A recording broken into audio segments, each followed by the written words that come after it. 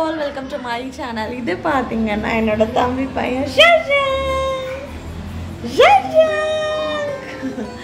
இப்போ நாங்கள் வீட்டுக்கு போகிறோம் ஹாய் ஆல் இப்போ பார்த்தீங்கன்னா நான் வந்து பேக்கிங் ஒர்க்கை ஸ்டார்ட் பண்ண போகிறேன் நாளைக்கு நான் ஊருக்கு கிளம்புறேங்க. ஃபஸ்ட்டு ட்ரிச்சிலேருந்து சென்னை போயிட்டு அப்புறம் சென்னையிலேருந்து பூனே போக போகிறேன் ஏன்னா அனிருத்துக்கு பார்த்தீங்கன்னா ஸ்கூல் ஏப்ரல் ஃபஸ்ட்டு வீக்லேருந்து ரீஓப்பன் ஆக போகுது.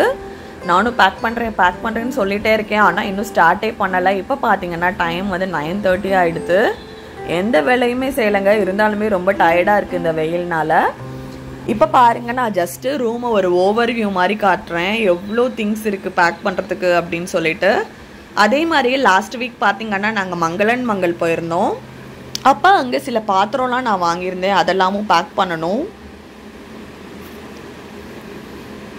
பாருங்க பேக் பண்ணிட்டே இருக்கேன் வளர்ந்துட்டே இருக்கு. என்னாலே நம்ப முடியல. அப்பா இவ்வளோ திங்ஸாக நம்ம ஊர்லேருந்து எடுத்துன்னு வந்தோம் அப்படின்னு.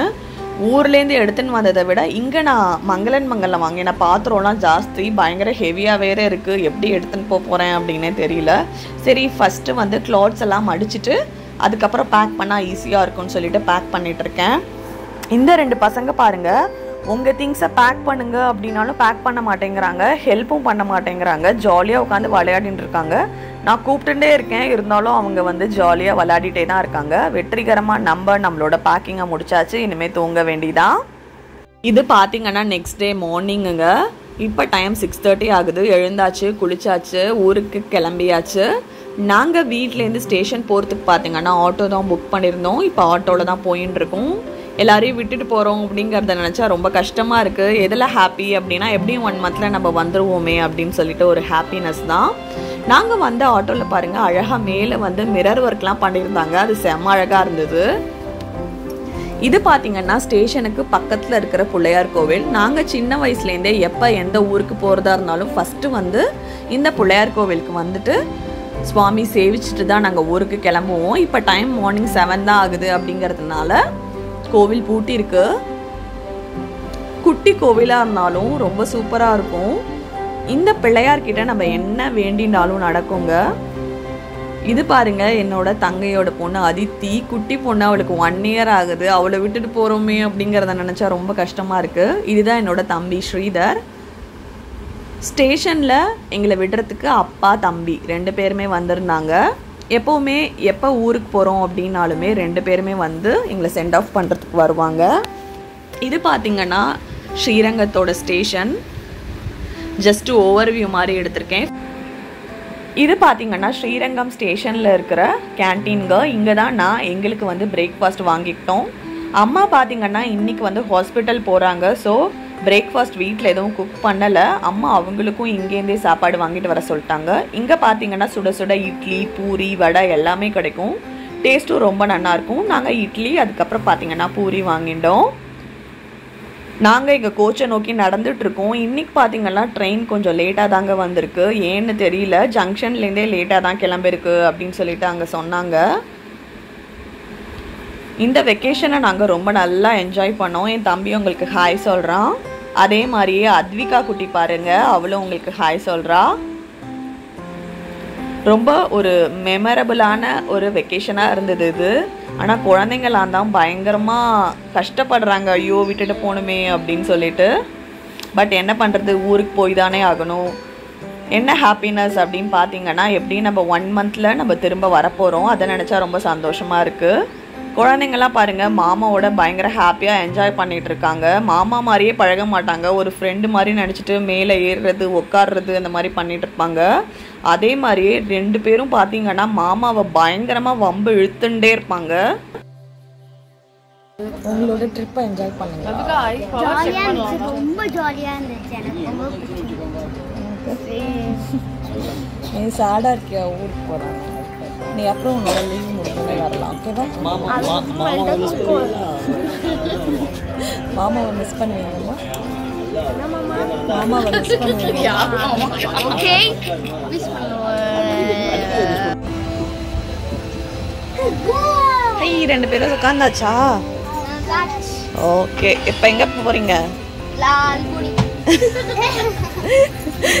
லால்குடி போறியா அனிருத் உன்னை லால்குடியில் இறக்கி விட்டுருவோம். சென்னை போறோம். ஓ நாங்க சென்னை போறோம். அதை கேட்டீங்களா நான் அடுத்த ஸ்டாப்பிங் எடுத்து சரி சரி. ஓகே.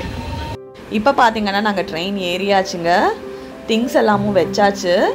அந்த அளவுக்கு வந்து ட்ரெயினில் கும்பல் இல்லை ஃப்ரீயாக தான் இருக்குது ஸோ அதித்தி குட்டிக்கும் பார்த்தீங்கன்னா ஒரு சீட் கிடச்சிருக்கு. இது பார்த்தீங்கன்னா ஜோக்ஸ் வேஃபர்ஸ்ங்க உங்களில் யார் யாருக்கு பிடிக்குங்கிறத சொல்லுங்கள் எனக்கு இது ரொம்ப பிடிக்கும். ஸ்கூல் விட்டு வரப்போ டெய்லி சாப்பிடுவேன். இப்போ பார்த்தீங்கன்னா பசங்கள்லாம் சாப்பிட்டுட்டு இருக்காங்க. நான் ஏற்கனவே சொல்லியிருந்தேன்ல அங்கே கேன்டீனில் வாங்கினேன் அப்படின்னு சொல்லிட்டு. அத்விகா பார்த்தீங்கன்னா இட்லி சாப்பிட்றா. அனிருத் பார்த்தீங்கன்னா பூரி சாப்பிட்றான். அத்விகா வடை வேண்டாம்னு சொல்லிட்டா. அதை வந்து அனிருத்கிட்ட ஷேர் பண்ணிட்டா. எங்கள் வீட்டு குட்டி பொண்ணு பாருங்க ட்ரெயின் ஏறின உடனேவே தூங்கிட்டா. பாவம் அவளை மடியில் வச்சுட்டே கிருத்திகா சாப்பிட்டுன்னு இருக்கா நான் வாங்கிக்கலாம் அப்படின்னு பார்த்தா நான் வாங்கிட்டேன்னா அவள் தூக்கத்துலேருந்து எழுந்துருவா. அதனால சரி ஓகே அவளே வச்சுக்கிட்டோன்னு சொல்லிட்டு அப்படியே சாப்பிட்றேன் பரவாயில்ல அப்படின்னு சொன்னால் அவள் பார்த்தீங்கன்னா பூரி சாப்பிட்றா. இப்போ நான் சாப்பிட போகிறேன் நான் பார்த்தீங்கன்னா பூரி சாப்பிட போகிறேன் ரொம்ப டேஸ்ட்டாக இருந்ததுங்க. இதில் பார்த்தீங்கன்னா மூணு பூரி இருந்தது. அது உள்ளேயே பார்த்தீங்கன்னா மசாலா வந்து ஸ்டஃப் பண்ணி கொடுத்துருந்தாங்க. அதுக்கப்புறம் இது பார்த்தீங்கன்னா இட்லி பொட்டலம்ங்க. இட்லியில் என்ன இருந்ததுன்னு பார்த்தீங்கன்னா மூணு இட்லி உள்ளேயே வந்து சட்னி விட்டுருந்தாங்க. அப்புறம் ஒரு பாக்கெட்டில் சாம்பாரும் வடையும் கொடுத்துருந்தாங்க.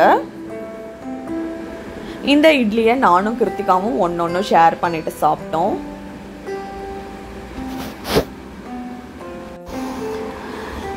இப்போ பார்த்தீங்கன்னா நம்ம சாப்பிட்டாச்சு. வெற்றிகரமாக கொஞ்சம் லைட்டாக தூக்கம் வருது. ஆனால் இந்த பசங்க கண்டிப்பாக தூங்க விட மாட்டாங்க. அவங்களும் தூங்க மாட்டாங்க. இப்போ பார்த்தீங்கன்னா நானும் கிருத்திகாவும் டீ குடிக்க போகிறோம் பசங்களுக்கு பார்த்தீங்கன்னா மில்க் ஷேக் வாங்கி கொடுத்தோம். இந்த வெயிலுக்கு அவங்களுக்கு அந்த மில்க் ஷேக் குடிக்கிறது செம்ம டேஸ்ட்டாக இருந்தது அப்படின்னு சொல்லிட்டு சொன்னாங்க. எப்படி இருக்குது அப்படின்னு கேட்டேன். டேஸ்ட்டும் ரொம்ப நல்லா இருக்குது அப்படின்னு சொன்னாங்க. ரெண்டு பேரும் பயங்கர ஹாப்பி எங்கள் அத்து குட்டி பொண்ணு பாருங்க. இவங்க ரெண்டு பேரும் குடிக்கிறத பார்த்துட்டு எனக்கும் வேணும் அப்படின்னு ஒரே அடம். அதனால குட்டி டம்ளரில் ரெண்டு பேரையும் கொஞ்சோண்டு விட சொல்லிட்டு அவளுக்கு கொடுத்தோம். அவளும் பயங்கர ஹாப்பி இப்போ பார்த்தீங்கன்னா நம்ம ட்ரெயினில் செங்கல்பட்டு ரீச் ஆயாச்சு. நெக்ஸ்ட் தாம்பரம் நம்ம இறங்க வேண்டியதான் தாம்பரமும் ரீச் ஆயாச்சு. அத்விகா அதிதி கிருத்திகா மூணு பேர் எங்களுக்கு பாய் சொன்னாங்க. ரொம்ப கஷ்டமாக இருக்குது குட்டீஸு அதுக்கப்புறம் சிஸ்டரையும் விட்டுட்டு வரோம் அப்படின்னு சொல்லிட்டு. பட் என்ன பண்ணுறது ஊருக்கு போய் தானே ஆகணும். என் தங்க பார்த்தீங்கன்னா சென்னையில் தான் இருக்கா. அவள் எக்மோரில் இறங்கி அவள் ஆற்றுக்கு போயிடுவா. நாங்கள் பார்த்தீங்கன்னா இப்போ மடிப்பாக்கம் போகணும் மடிப்பாக்கமில் தான் பார்த்தீங்கன்னா எங்கள் மாமனார் மாமியார் இருக்காங்க. அவங்கள நான் ஊர்லேருந்து வந்து பார்க்கவே இல்லை. சரி ஓகே. அவங்களையும் பார்த்துட்டு அவங்க கூட ஒன் டே ஸ்பெண்ட் பண்ணிட்டு போகலாம் அப்படின்னு சொல்லிட்டு நான் அப்போ மடிப்பாக்கம் போயிட்டுருக்கேன் நம்ம இப்போ ஆட்டோவும் ஏறியாச்சு. தாம்பரத்தில் பார்த்தீங்கன்னா நம்ம வந்து ஸ்டெப்ஸ் ஏறிட்டு இறங்கணுங்க.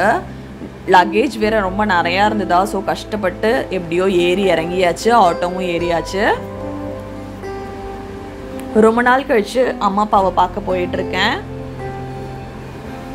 ஆக்சுவலாக எங்களுக்கு லக்கேஜ் ரொம்ப பெருசாக ஒரு பெரிய பெட்டி வேறு இருக்கா. அதனால அனிருத்தால் ப்ராப்பராக உட்காரவே முடியல ஆட்டோவில் அவன் வந்து ஃபோல் பண்ணி தான் உட்காந்துட்டு இருந்தான் ஆட்டோவில் பரவாயில்லம்மா கொஞ்ச நேரம் தானே நான் அட்ஜஸ்ட் பண்ணிக்கிறேன் அப்படின்னு சொல்லலாம் இந்த பெட்டியால் என்னால் கால் நீட்ட முடியல அப்படின்னு சொல்லிட்டு ரொம்ப வருத்தப்பட்டுட்டே வந்துட்டு இருந்தான்.